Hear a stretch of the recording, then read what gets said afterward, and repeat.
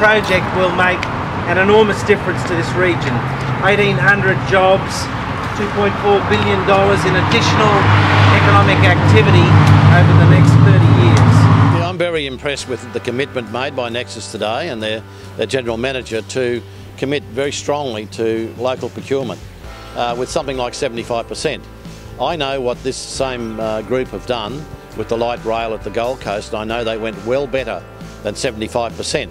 And that's the sort of commitment that I'm delighted about to hear from the contracting group. It's our belief that we can add skills, um, we can bring world's best design practice, and we can do a job that we ourselves and everyone here and the whole community can be proud of.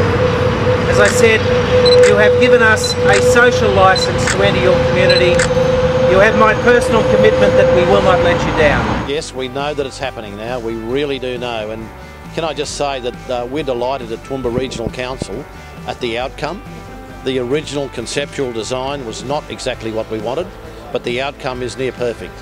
And uh, it's going to have grade separation, it's going to have four laning to the Warrego Highway, it's going to have a cutting instead of a, a tunnel, and all those were the things that we were banging for as hard as we could.